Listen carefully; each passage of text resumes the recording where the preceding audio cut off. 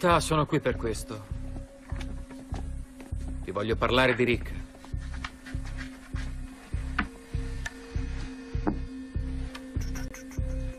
D'accordo. Parlami, Spencer. Parlami di Rick. Capisco quello che stai provando a fare. Provi a costruire. Non sono d'accordo con i tuoi metodi, ma lo capisco. Stai costruendo una rete per far sì che si collabori per un bene più grande. Ha senso. Ma devi sapere che Rick Grimes non ha mai lavorato bene insieme agli altri. Ah sì? All'inizio qui il leader non era Rick, era mia madre. Stava facendo un ottimo lavoro. Poi è morta, poco dopo l'arrivo di Rick. E anche mio fratello e mio padre. È stato tutto rose e fiori per quanto? Anni? E poi arriva Rick e all'improvviso sei un orfano. È la storia più triste che abbia mai sentito. Per tua fortuna, lui non è più al comando. Non importa. Il suo ego è fuori controllo. Troverà un modo per rovinare tutto, per, per prendere il potere a modo suo. Quello che ha fatto con mia madre lo farà di nuovo.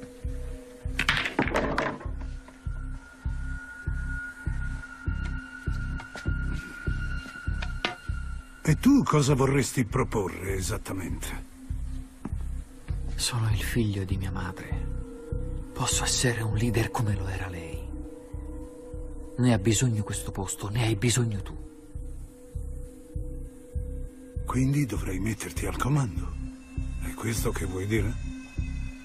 Staremmo molto meglio. Sai, sto pensando, Spencer. Sto pensando al fatto che Rick ha minacciato di uccidermi e chiaramente mi odia a morte.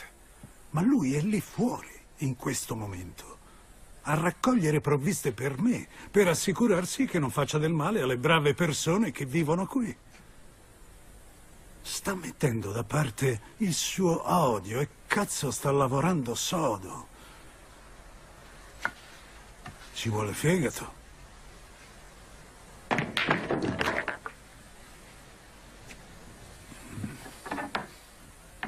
E poi ci sei tu.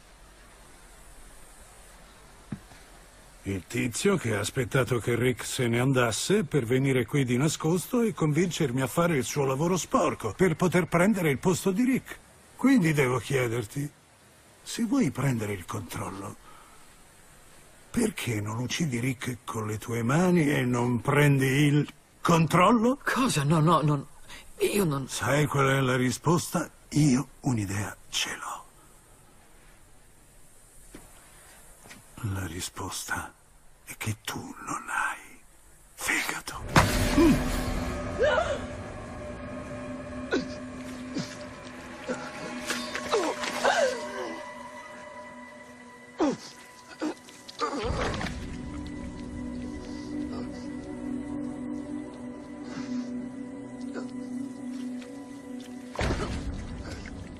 Oh, che imbarazzo. Eccolo lì, è stato dentro di te per tutto questo tempo. Ce l'avevi il fegato, non mi sono mai sbagliato tanto in vita mia.